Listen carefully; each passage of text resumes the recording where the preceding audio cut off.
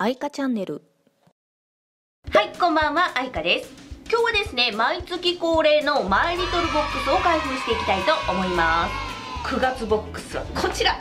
バーン。アラモードということでまあマイリトルボックスらしいイラストになっています。開封しますよ。オープン。ほい。こんな感じです。今月はアルビオンとのコラボボックスということで先月のボックスの中でも予告されていたのでものすごく楽しみです。なんか結構ぎっしりな感じですよ。こっちがコスメが入ってる巾着とこっちが雑貨じゃないかなと思います。綺麗な素肌で見せる秋アルビオン×マイリトルボックスということですので、まあ、早速ねこちらのコスメが入っているであろう巾着の方から開封していきたいと思います。今月はねちょっと袋小さめなんですがこのリボンがサテンになってて結構可愛いです。あ割とぎっしり入ってる。じゃじゃーんコスメこんな感じです。アルビオンのアイテムが4つも入ってます。でね今ざっと見た感じ私どれも使ったことありますじゃあまず現品使ったことあるやつからいこうかな。こちらミニチュア具合が可愛くないですか？アルビオンといえば薬用スキンコンディショナーエッセンシャルですね。通称スキコンと言われてるやつなんですけど私ね昔アルビオンにハマってた時にもちろんこれも使ってました。ただねずっと使ってると私ちょっとこれ肌に合わないというかピリピリしてくるんですよね。なので最近は使ってないんですけども結構さっぱりした使用感で爽快感のある化粧水です。すごいスキコンのデザインそのまんまですね。サラッサラなんですよ。ほら特にとろみとかないほんとさっぱりした使用感の化粧水です。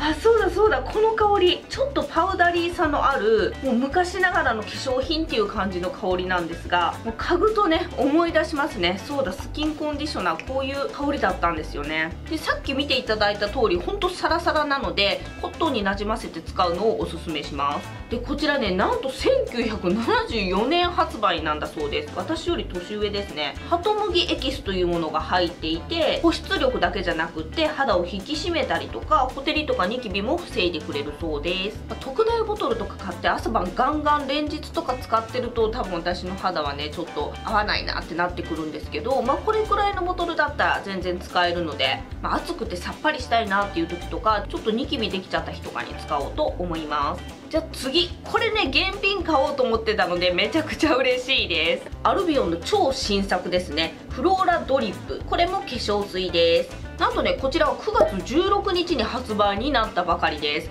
これはねプロモーションされてるのを見てすごく気になってカウンターにサンプルをね慌ててもらいに行ったものなんですけど個人的にはねスキンコンディショナーとはまた全然違った使用感の化粧水で、まあ、比べるものでもないかなっていう感じなんですがもっとこう美容液に近いというか総合的にケアをしてくれそうだなという使用感でした。ここにも書いてますね。まるで化粧水と美容液を融合したような化粧液とか化粧液なんですねこれは。肌質や年齢毎日の肌状態を問わずどんな方にも素肌が待ち望む美しさを届けますということでもうねアルビオンのこの自信がもう文章に表れていますけどこれねすごくいいんですよ。ちょっとお高いんですけど本来はコットン漬けを推奨されていますがほら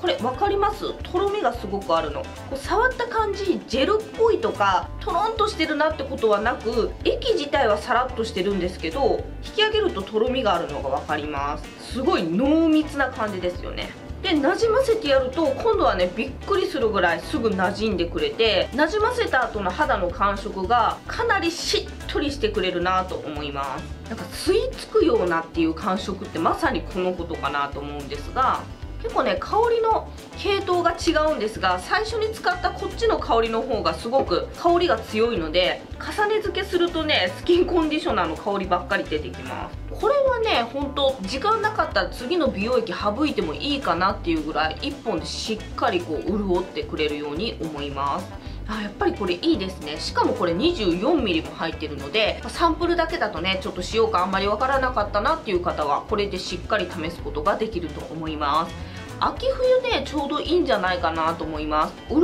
うんですけど全然重さはないし表面ベタベタはしないんですよね。とっても使いやすいアイテムだと思います。じゃあ次ですね。これも有名ですね。これはちょっと現物とデザインが違ってるんですけどこれです。見たことある人多いんじゃないでしょうか。なんか雑誌の広告とかでも結構出てると思うんですけどこういうクリアタイプのボトルの美容液です。これもね発売当初からちょこちょこ使ったことあるんですが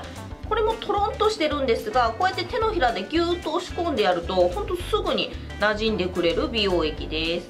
ちょっと試す順番が前後しちゃったんですけど一応洗顔の後1番に使うということで、まあ、導入美容液的な存在かなと思います。なので正しくはエフラクチュール使ってスキンコンディショナー使ってフローラドリップを使ったらいいのかなと思います、まあ、それぞれ感触も全然違うんですけど狙っていく効果も違うので、まあ、せっかくなのでセットで使ってやるとあらゆる肌の悩みにアプローチできるんじゃないかなと思います。そして最後4つ目ですね。この外箱もすごい可愛かったのでちょっとこのままお見せするんですがアルビオンエクサージュホワイトのホワイトニングパウダーです。これねいつだったっけ？何年か前の夏場にね使ってたんですよ。これはね夏になると欲しくなる。24時間いつでも使えるタイプの美白パウダーなんですが今年はねアナスイの同じようなコンセプトの粉を使っているんですが過去にトアニーのルースタイプだったりとかこのエクサージュホワイトのものも使ったことがあります。まあこの手のアイテムはね正直使用感の違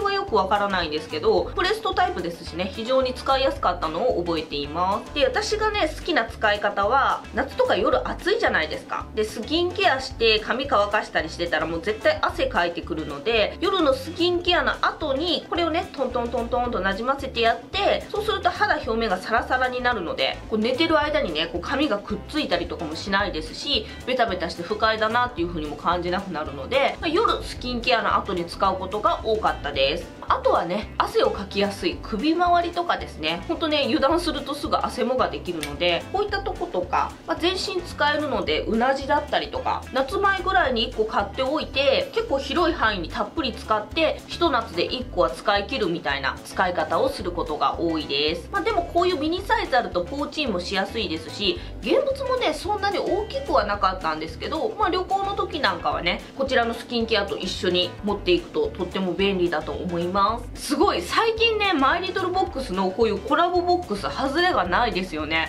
アルビオンとのコラボってどうかなと思ってたんですけど思った以上にねいいアイテムが入ってるなと思いました。特にこんなね大きいのが入っててすごく嬉しかったです。じゃあいい感じですのでこのまま雑貨も紹介していこうと思います。そしてね今いっぱい重ねた手の甲明らかにしっかり保湿された肌っていうこう柔らかさがあるんですよね。めちゃくちゃ気持ちいいです。じゃあ雑貨1つ目はこちらです。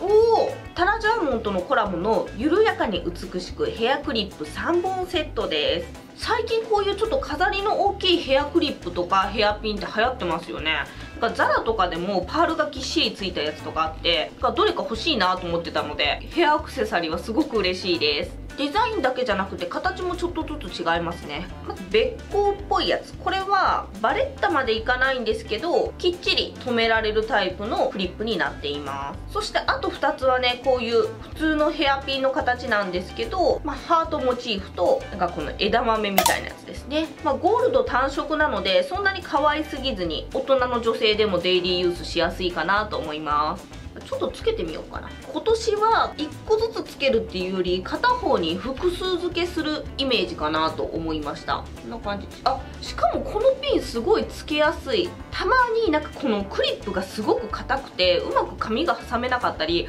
外す時に髪引っ張って抜けちゃうようなやつとかもあるんですけどこれね割と使いやすいですよ。このパチって止めるやつは難しそうなんですがどうだろう。